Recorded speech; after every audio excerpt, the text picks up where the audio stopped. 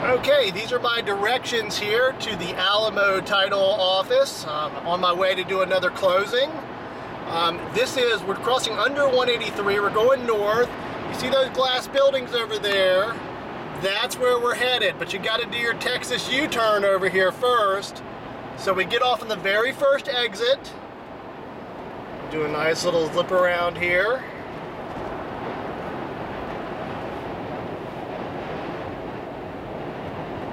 There the buildings are. Are the buildings. We're going to the Qualcomm building, their first floor.